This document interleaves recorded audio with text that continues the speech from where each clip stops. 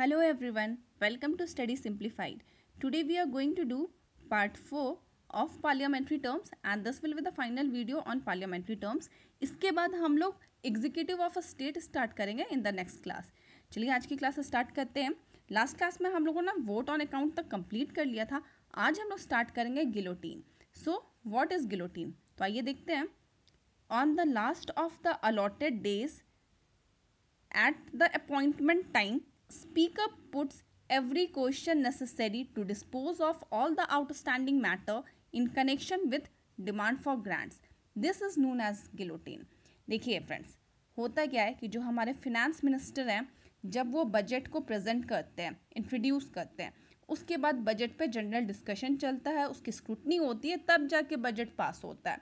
तो जो बजट का इंट्रोडक्शन है एंड पास करने का जो टाइम पीरियड है, उसके बीच में दो महीने का टाइम गैप आता है, ठीक है? तो इस बीच में क्या होता है कि जो डिमांड फॉर ग्रांट्स है, उसके ऊपर जनरली डिस्कशन चलता है एंड स्क्रूटनी होता है। देखो, होता क्या है कि जो हमारा, हमारे मिनिस्टर्स हैं, वो अपने expenditure of demands finance ministry को पहले दे रखे होते हैं जब बजट पास करना होता है। और जब बजट पास हो जाता है different amounts and funds allocate कर दिया जाता है डिफरेंट मिनिस्ट्रीज़ को, उसके बाद फिर से उसकी स्क्रूटनी होती है। जो एक्सपेंडिचर डिमांड्स है of different different departments ministries उसकी स्क्रूटनी होती है, ठीक है?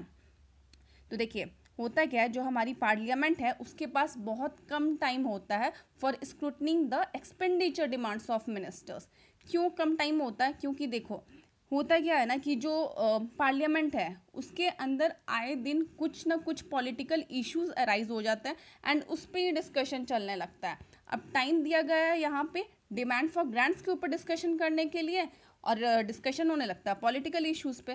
तो ऐसे करके क्या होता है ना कि जो प्रिस्क्राइब्ड पीरियड है ना टाइम पीरियड ये एंड होने को आता है। तब स्पीकर क्या करते हैं? गिलोटीन अप्लाई करते हैं।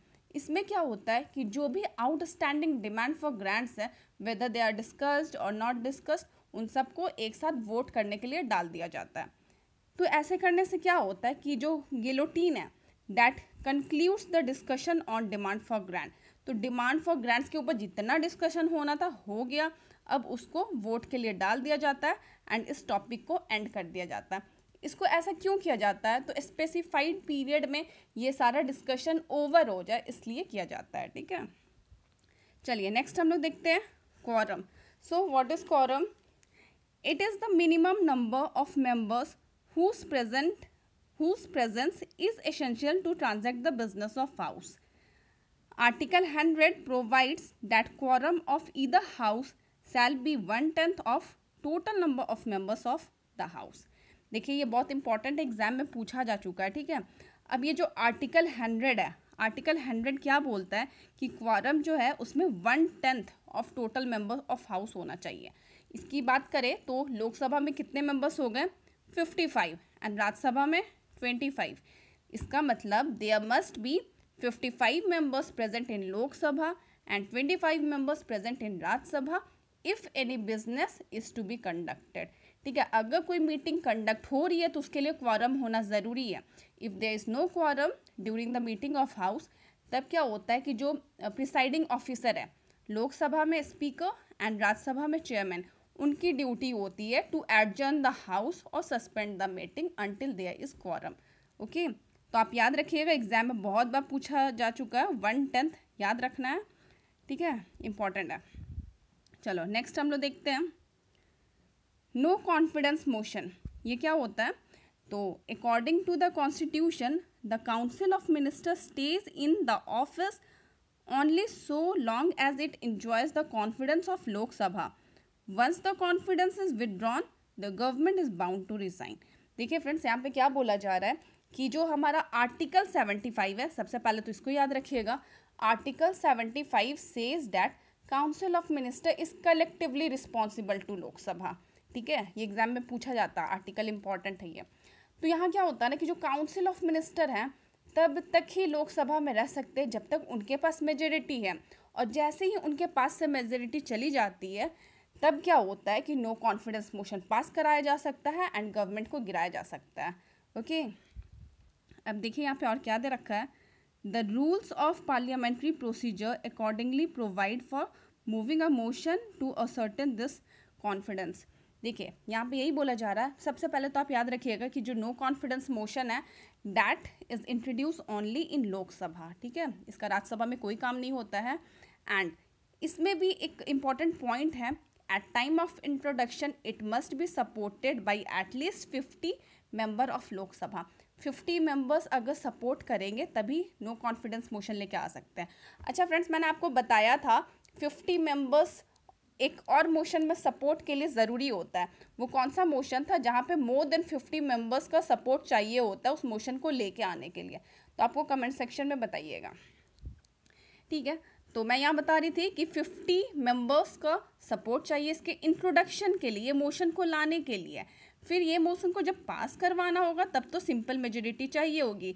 सिंपल मेजोरिटी बोले तो 50 परसेंट ऑफ़ मेंबर को फेवर में वोट करना होगा, तभी वो मोशन पास हो सकता है ओके और जब ये मोशन इंट्रोड्यूस हो जाएगा एक बार तो कोई भी डिबेट चल रहा हो, कोई भी डिस्कशन चल रहा हो लोकसभा में, उसको रोक दिया जाएगा एंड नो कॉन्फिडेंस मोशन के ऊपर फोकस किया जाएगा, उसके ऊपर डिस्कशन चलेगा, ठीक है? तो ये यहाँ पे इंपॉर्टेंट है। यहाँ पे मैं एग्ज़ाम्पल के तौर पे बात करूँ तो क्या हमारे हिस्ट्री में कभी नो कॉन्फिडेंस मोशन लाया गया है? तो जी हाँ लाया गया है। अगर मैं बताऊँ आपको एक एग्ज़ाम्पल देती हूँ अटल बिहारी वाजपेयी जी के टाइम में 1999 में नो कॉन्फिडेंस मोशन लाया गया था अपोजिशन में कांग्रेस थी एंड एक वोट से अटल बिहारी वाजपेयी हार गए थे एंड uh, उनकी सरकार गिर गई थी। ठीक है? इसके अलावा अगर मैं बात करूँ तो एच डी देवागौड़ा 1997 में इनकी सरकार भी ऐसी ही गई थी एंड वीपी सिंह 1990 में। तो इन दोनों के इन तीनों के खिलाफ नो कॉन्फिडेंस मोशन पास किया गया था एंड इनकी सरकार गिर गई थी, ठीक है? तो इसको ध्यान रखिएगा। चलिए नेक्स्ट हम लोग देखते हैं सेंसर मोशन तो ये क्या होता है? A censure motion differs from no confidence motion in that the latter does not specify any ground on which it is based while the former has to mention the charge against government for which it is moved देखिए, यहाँ पे ये बोला जा रहा है कि जो सेंसर मोशन है वो कैसे नो कॉन्फिडेंस से डिफरेंस है। पहले तो मैं आपको ये बता दूँ कि सेंसर मोशन होता क्या है, फिर हम लोग डिफरेंस देखेंगे। देखिए, नो कॉन्फिडेंस मोशन में क्या होता है ना कि गवर्नमेंट की किसी पॉलिसी या किसी एक्ट पे अगर अपोजिशन कोई स्ट्रॉन्ग डिसअप्रूवल शो करना चाहती है या क्रिटिसिजम शो करना चाहती है तो वो सेंसर मोशन लेके आती है, ठीक है, लोकसभा में। यहाँ पे भी याद रखिएगा कि जो सेंसर मोशन है वो इंट्रोड्यूस हो सकता है ओनली इन लोकसभा। और इसका इंट्रोड्यूस होने का कारण क्या होता है? To censure just a one policy of government of India या किसी एक्ट को, किसी मिनिस्टर के किसी एक्ट को अगर वो लोग क्रिटिसाइज करना चाहते हैं तो वो सेंसर मोशन लेके आते हैं। मैं एग्ज़ाम्पल के तौर पे बताऊँगी, ठीक है? जनरली तो क्या होता है कि अगर पॉलिटी को सॉरी पॉलिसी को क्रिटिसाइज करना है, तब सेंसर मोशन लेके आएँगे। अदरवाइज़ अगर कोई मिनिस्टर है, उसके एक्ट को क्रिटिसाइज करना तो भी सेंसर मोशन लाया जा सकता है। देखिए एग्ज़ाम्पल मैं आपको बता दूँ। एक थी मेंबर ऑफ़ पार्लियामेंट जिनका नाम था प्रज्ञा ठाकुर। बहुत लोग उनको जानते भी होंगे। तो प्रज्ञा ठाकुर के खिलाफ कांग्रेस एंड कुछ अदर पार्टीज़ मिलके सेंशन मोशन लाई थी लोकसभा में। एक्चुअली हुआ क्या था कि ये जो प्रज्ञा ठाकुर हैं, इन्होंने नाथुराम गॉडसे को देशभक्त बोला था। कुछ लोकसभा में बहस चली थी एंड इसी पे इन्होंने क्या बोल दिया था?